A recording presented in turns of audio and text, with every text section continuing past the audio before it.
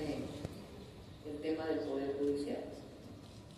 Eh, entonces no tendrían por qué estar interviniendo de esa manera en algo que le corresponde exclusivamente a los mexicanos y mexicanas. Y eso no significa que deba haber tensiones de ninguna manera. los órganos autónomos están ¿Quién más? Gracias, doctor. Eh, ¿Por qué sugirió ayer a los eh, diputados diferir, postergar eh, la discusión de la reforma judicial?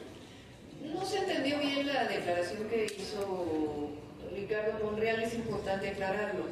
Él lo que dijo, si ustedes la escuchan, yo ayer la escuché nuevamente por si había alguna duda, es que lo que tienen claro ellos, ni siquiera porque yo eh, se los diga, sino que es su función, es que tienen que cubrir los procedimientos establecidos en las cámaras.